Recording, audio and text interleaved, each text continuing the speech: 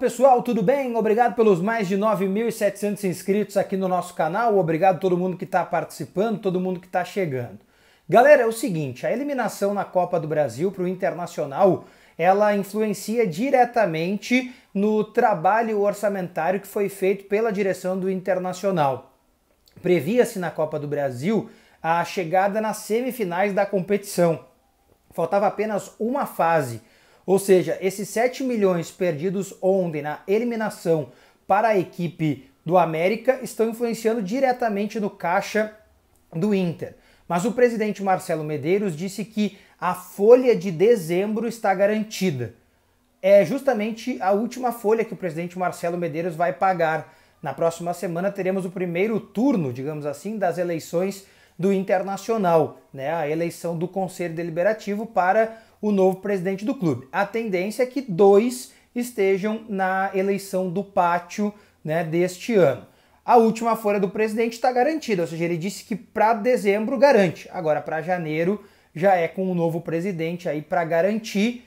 Vamos aguardar para saber, porque a folha do Internacional é elevada, né? não é a das mais caras do Brasil, mas é elevada sim. Na Argentina, o Inter virou chacota, é isso mesmo. Vamos ver um vídeo aí da ESPN Argentina, porque o Inter está sendo chacota pelas declarações do Abel Braga. Ahí está, viste que yo le dije ayer. Abel Braga. Eh, este es el técnico del Inter, que es el. Está metido. el. Que es el Creo que, es el rival de Boca. No conozco el nombre de más de dos jugadores. No tuve mucho tiempo para entrenar al equipo, pero no es una excusa. Analiza el proyecto como Bielsa, sí. este muchacho. Y eso es para hacer. Acá el, teta, a ver, el técnico dice, yo lo entiendo de por otro lado. Digo, la verdad, no tengo ni idea de quiénes juegan. No tengo ni idea del equipo que juegan. Pero estamos obligados. Esto ahora. no, pero aparte... Igual contento, contento los jugadores, ¿no? Y no, no, pero yo te hago una pregunta. Yo soy dirigente del Inter. ¿Cómo, voy a contratar a un tipo que me dice que no conoce los nombres? Está bien, pero sáquese el tipo, muchacho. El problema era de ustedes. Se le fue Caudé en el medio. Yo lo agarré. Esa es una gran noticia para Boca. Yo agarré este fierro caliente. Al Celta, gran noticia para Boca. Yo agarré este fierro caliente. Esto agrava la situación de Boca si queda eliminado en octavos de final. Não, pero... O Abel que precisa reconstruir o Inter para encarar primeiro o Fluminense e depois o Boca.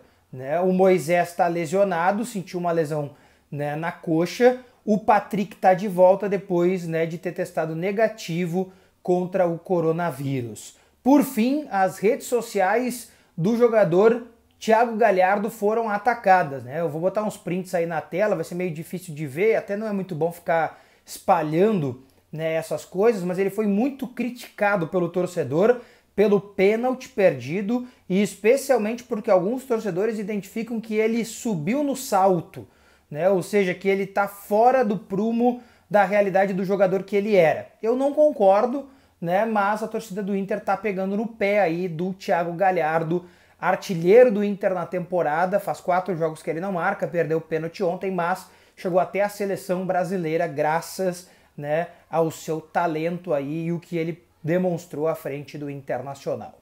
Um grande abraço, até a próxima, não esqueça de se inscrever aqui no canal. Eu fui!